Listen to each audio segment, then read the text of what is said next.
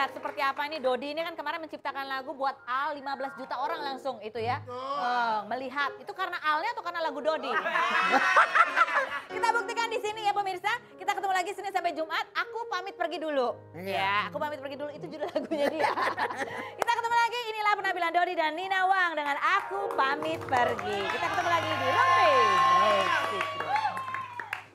Yes, dia Ya, sendiri aja.